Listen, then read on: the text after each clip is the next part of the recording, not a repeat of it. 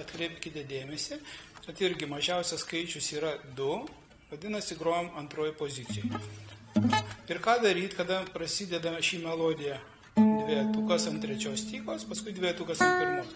Mums nereikėtų šokinėti. Šiuo atveju mes panaudosim barę. Grojam dvietuką ir ant pirmos stygos nešokom su pirmu pirštu, o pirštą pagaudom ir gaunam dvietuką ant pirmos. Poziciją.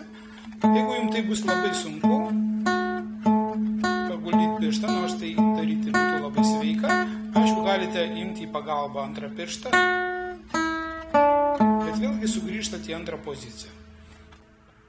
Ir penketuką jums bus labai aišku, su kuriuo pirštu grojam. Grojam su ketvirtu mažiausiu pirštu.